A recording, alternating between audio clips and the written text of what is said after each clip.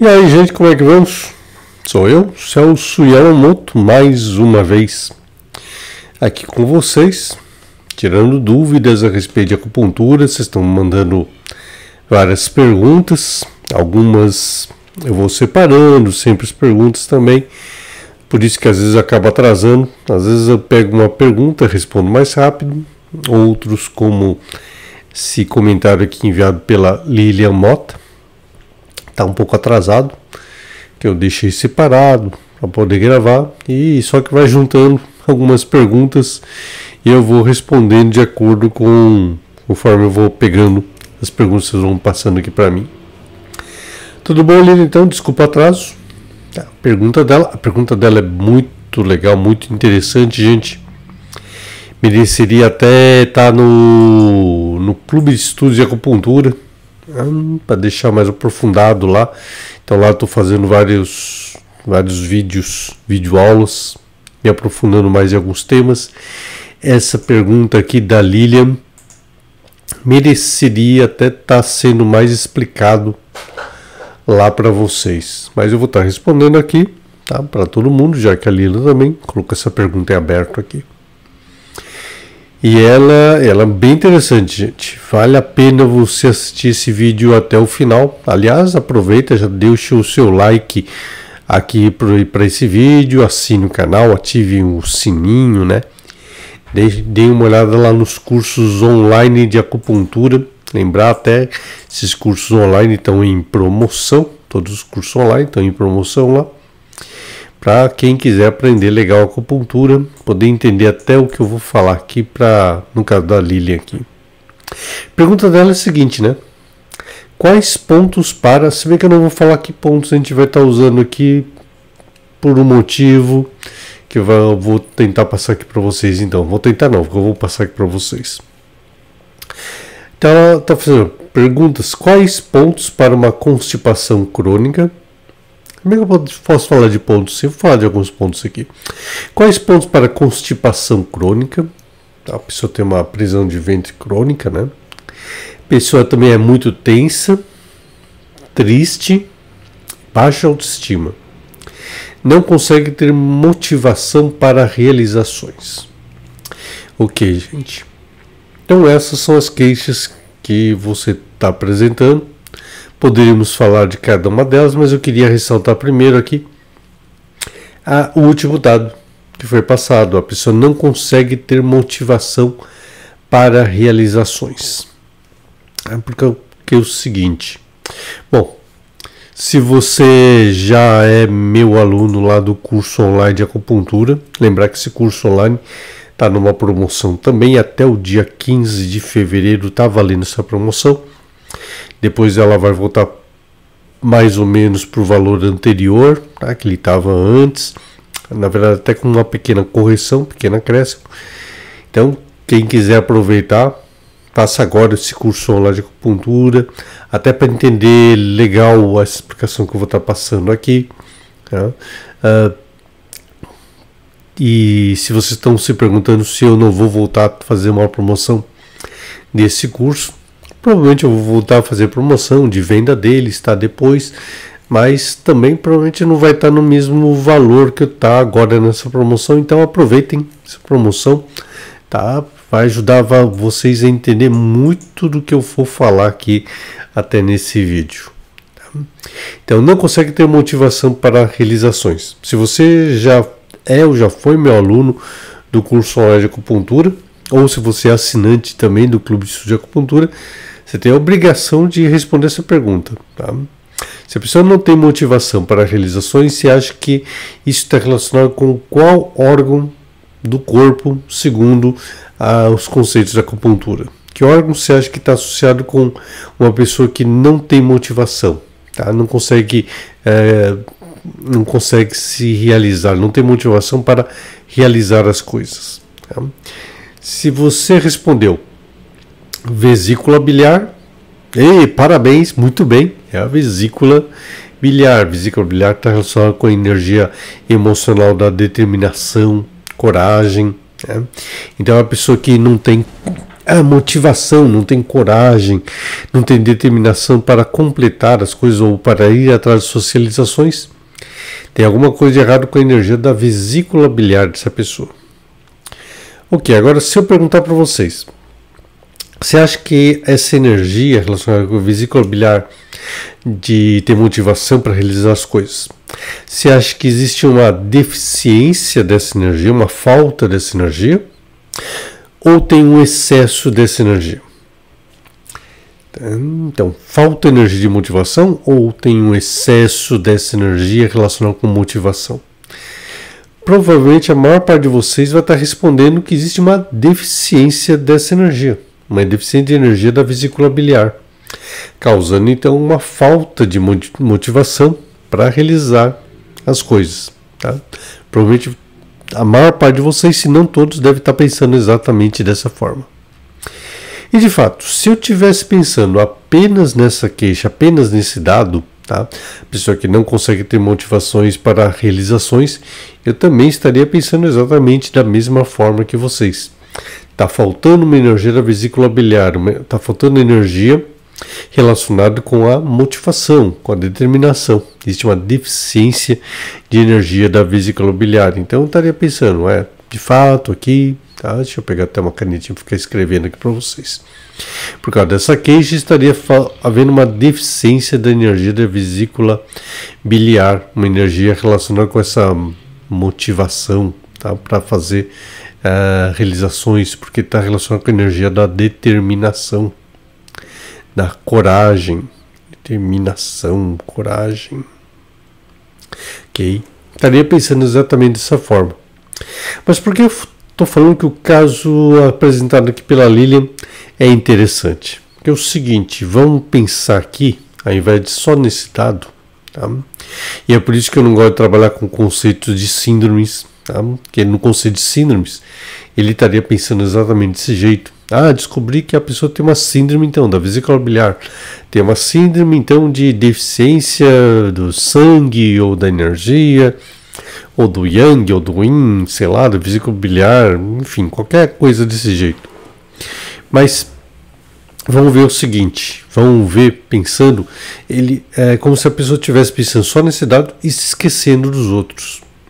Só que aí então teria o seguinte, vou colocar aqui, vou colocar um desenho, cinco elementos: fogo, terra, metal, água está aqui, elemento água, e aqui nós temos o elemento madeira, onde tem a vesícula biliar. Então aqui tem um problema de motivação. Está tá ali na madeira. E eu estaria inicialmente pensando em deficiência. Tá? Com vocês. Só que se a gente for analisar os outros dados, tá? Antes tem o seguinte, que essa pessoa também tem uma constipação crônica. Constipação crônica, tá? Então, constipação crônica, eu posso estar associado aqui com a energia do elemento metal. Intestino grosso está em metal. Pessoa fica muito tensa, vou pa passar por essa pessoa muito tensa, tá? Tristeza, a pessoa está muito triste. Tristeza também é uma emoção. É uma emoção associada com a energia do elemento metal. Tá? Aqui eu tenho um contrassenso, que é o seguinte: tristeza eu posso considerar como um excesso de energia, muita tristeza. Constipação crônica, então, teria relação também com esse excesso de energia, tá? Mas com um excesso de energia no intestino causando constipação, tá? Então pode dar, ter, tá aí relacionado com o intestino preso que ela tem, muito, energia está presa no intestino, por isso que ela não está conseguindo tá? tem uma boa evocação, está com constipação. E a baixa autoestima, a autoestima tem relação com o eu, tá? com o si mesmo. E o si mesmo está associado com a energia do fogo. Então, baixa, vou colocar até assim, baixa autoestima. Baixa autoestima está aqui, tá? no elemento fogo. Ok. Quando eu considero esses dados como um todo, tá, eu teria que pensar no seguinte: tá, se madeira está fraca, tá, causando falta de motivação, é por isso que essa pessoa está com uma baixa autoestima, a energia não está se movimentando aqui para fogo. Até aí tudo bem, estou pensando desse jeito. Por outro lado, se essa energia está com excesso de energia aqui, tristeza, está ficando crônica, tá? Metal faz o que com energia de madeira? Metal controla a energia de madeira, tá? causando então uma fraqueza da energia de madeira, por isso que a pessoa fica sem motivação. Então, na verdade, o que eu tenho aqui tá? é um problema que está mais relacionado com energia de metal do que com energia de madeira. Tá? Então, é uma forma diferente de você começar a considerar o que está acontecendo lá com madeira. Tá? Metal estaria com uma fraqueza, estaria com excesso de energia, controlando energia de madeira. Tá? Madeira então está fraco e não está alimentando a energia do elemento fogo. Eu poderia pensar desse jeito, e é isso que estaria acontecendo. Eu poderia fazer um tratamento, então, a partir desses conceitos que eu estou apresentando aqui para vocês. Mas eu tenho esse outro dado aqui também que me chama atenção. A pessoa está muito tensa. Muito tensa, eu não sei como é que é essa tensão que a pessoa está apresentando. Se eu considerar essa tensão com uma pessoa que é muito tensa fisicamente, então ela estaria tensa a nível muscular. Os músculos dessa pessoa uh, deixam ela muito tensa. Então você percebe que ela fisicamente é uma pessoa mais, mais dura, mais travada. Tá? Nessa hora, músculo está associado também com energia de madeira. Então músculo está aqui. Ó. Músculo está aqui em madeira. Só que se a pessoa está muito tensa, então a energia de madeira não está tá com deficiência ela pode estar com um excesso de energia. Aí eu tenho uma outra visão do que pode estar acontecendo com, pessoa, com essa pessoa. Para confundir a cabeça de vocês, então. tá. Eu posso estar pensando o seguinte, considerando desse jeito, que a energia de madeira não está com uma deficiência, ela pode estar com excesso de energia. Esse excesso de energia em madeira não alimenta o elemento fogo causando a deficiência da energia de fogo, causando então a baixa autoestima. Por outro lado, metal então está com excesso de energia porque ele está tentando controlar o que está acontecendo de excesso na energia de madeira. Por isso, então, você tem essas queixas em metal. Ou seja, esse último dado pode dar uma mudança na forma de ver como é que estão as energias dessa paciente. Isso também pode significar que a, o que está causando essa dificuldade dela ter motivação, motivação para fazer algumas coisas, para realizar, tá? Então não tem, não, a pessoa não consegue ter motivação para realizações. Então o que está impedindo que ela tenha motivação para realizações não é uma falta de energia em madeira, mas sim um excesso de energia em madeira. Tá? E é isso que eu teria que estar tá analisando, criando uma forma de avaliação, análise completamente diferentes. Tá? No caso, então, talvez a pessoa eu tenho que pensar se a pessoa tem uma deficiência de energia em madeira, um excesso de energia no elemento madeira. Um dos dois pode estar acontecendo. Tá? Mas como é que uh, uma pessoa com excesso de energia em madeira, o que estaria bloqueando então? Qual excesso de energia uh, seria capaz de bloquear a motivação para que a pessoa possa realizar, uh, ter realizações em sua vida? Então não é apenas a deficiência de energia que pode impedir esse, essa capacidade da pessoa ter motivações um excesso de energia também pode estar tá bloqueando essas motivações. E aí que está uma característica de um bom acupunturista. Algumas perguntas não vêm prontas. Tá? Algumas ideias são fáceis de entender, são óbvias. Né? Falta de energia de vesícula biliar, falta de motivação, ela não consegue fazer realizações. Por outro lado, aqui eu tenho uma questão interessante. O que eu deveria perguntar para esse paciente para confirmar esse outro dado, esse novo dado, essa nova possibilidade? Tá? O que eu teria que perguntar para essa pessoa para descobrir que há um excesso de energia uh, de madeira, um excesso talvez até de energia motivacional que está impedindo que ela consiga ter realizações de sua vida. Então a pessoa pode estar tá sendo motivada demais para fazer as coisas, só que é esse excesso de motivações que na verdade estão impedindo que ela consiga realizações em sua vida. Não sei se está conseguindo entender, tá? É, eu não estou colocando a informação toda para vocês, porque, é, como eu falei, é, são esses dados que eu acho que seriam interessantes até lá no Clube de Estudo de Acupuntura poder estar tá analisando melhor. Tá?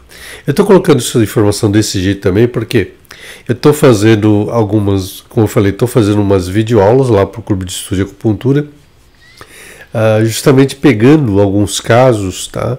Então estou fazendo um vídeo, por exemplo, agora, onde eu estou uh, analisando alguns casos uh, em cima de, uh, do conceito também daquele, dos pontos fantasmas, analisando sobre um outro ponto de vista. É que se você é aluno meu já do curso online de acupuntura, o que, que eu faço lá no curso online de acupuntura?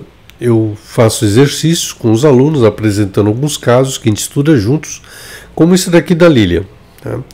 Uh, só que eu começo com um caso bem mais simples, bem mais fáceis de fazer análise, e depois eu vou pegando alguns casos que são mais, mais complicados, casos assim que uh, são mais difíceis em termos de uma análise, até de compreensão deles. Tá? Então são casos bem mais tá? que entram dentro daquela conceito da teoria de pontos fantasmas, teorias fantasmas, coisas mais difíceis da gente analisar do ponto de vista mais simples, mais básico da acupuntura.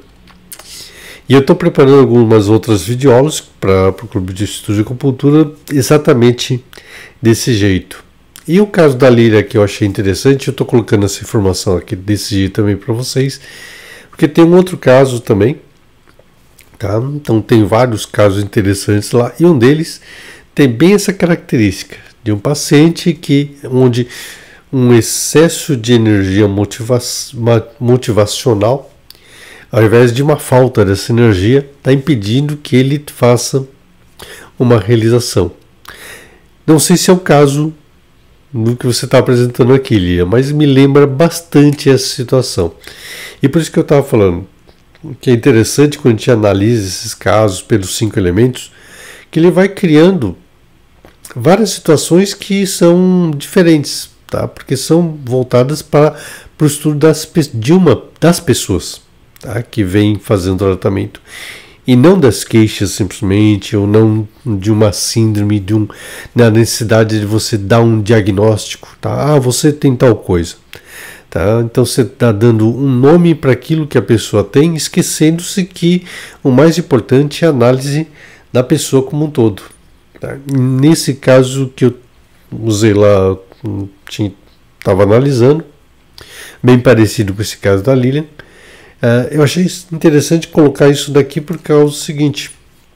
Aí ela já está perguntando que pontos eu poderia estar usando para constipação. Sei lá, eu podia até chegar agora e falar, para constipação, podia estar usando um ponto em BP15, Tá? A pessoa que é muito tensa, eu posso pegar F3. Para a pessoa que está muito triste, eu posso pensar no C3. Para baixo autoestima, poderia estar tá pegando vai o ponto em Tang para começar aqui, ou até o ponto VB14. Quem é meu aluno no curso de acupuntura está vendo esses pontos, já deve estar tá pensando: ah, eu sei porque o Celso está falando para usar esses pontos aí, tá? Motivação para realizações, sei lá, podia estar tá falando um VB31 é um ponto legal também para estar tá utilizando.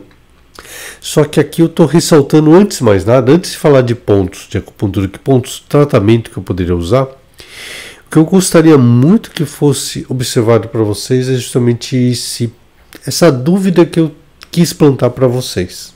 Tá?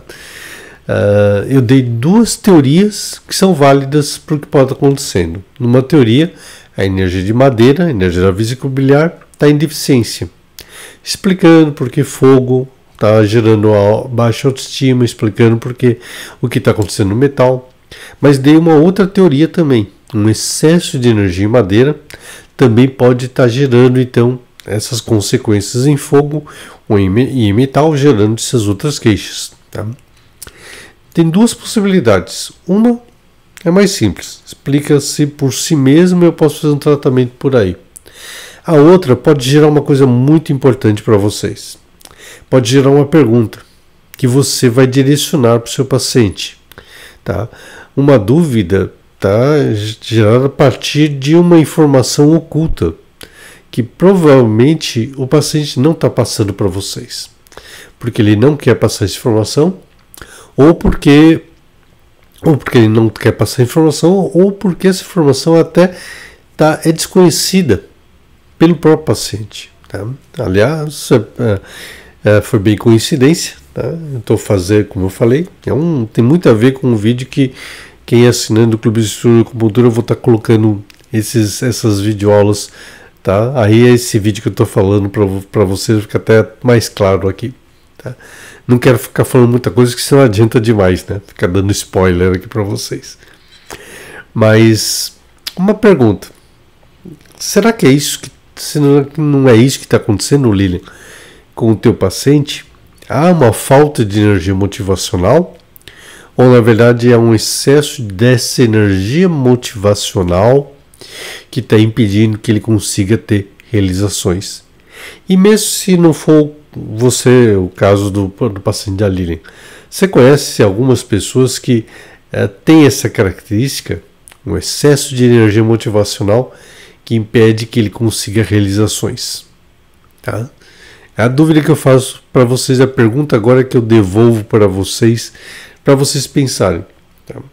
Se esse fosse o paciente de vocês, o que vocês estariam, que pergunta vocês fariam para esse paciente? Tá? É, é isso que vai ajudar vocês a se diferenciarem dentro desse mercado de ser meros espectadores de agulha que buscam apenas o resultado pelo resultado do tratamento, para se tornar excelentes acupunturistas que vão elaborar excelentes tratamentos, mas que vão surpreender os seus pacientes a ponto deles perceberem que você não está simplesmente tratando aquelas queixas que ele está apresentando, que você está de fato entendendo o que está acontecendo com ele. E aí, esse paciente tá, vai ser o seu paciente que vai garantir para você, inclusive, uma continuidade de um bom atendimento, não só para ele, mas como para outras pessoas que com certeza ele vai começar a indicar por estar tá vendo que você é um excelente profissional, um excelente acupunturista que sempre está indo além do limite, além daquilo que tá, é visível apenas de um único ponto de vista. Não sei se eu ajudei você, gente, tá? Mas eu queria até falar para vocês, tá? Dessas vantagens que eu passo para vocês no, no curso, nos cursos de acupuntura, tá? Então, nesse caso aqui da Lilian, tá? Quis deixar uma uma pulguinha chinesa atrás da orelha de vocês para que vocês possam pensar melhor no que fazer a respeito de acupuntura e como é que te pode como eu posso ajudar bastante vocês através dos cursos online de acupuntura, através do Clube Estudo de Acupuntura. Tá bom? Vou ficando por aqui, tá? Futuramente eu vamos ver se a gente acaba voltando até nesse caso aqui da Lilian, tá? Ou para quem já é do Clube de Acupuntura, estou preparando lá um material bem legal, tá? Que vai ajudar vocês a, espero que relembre vocês desse caso. Vou até ver se eu preparo um vídeo até bem específico, tá? Com esse outro caso, tá? Ele não estava na minha programação, mas vou ver se eu coloco esse caso que me deu essa ideia de falar a respeito desse caso aqui que a Lilian está apresentando. Tá bom? Vou ficando por aqui. Nos encontramos em outros vídeos. Tchau, até a próxima.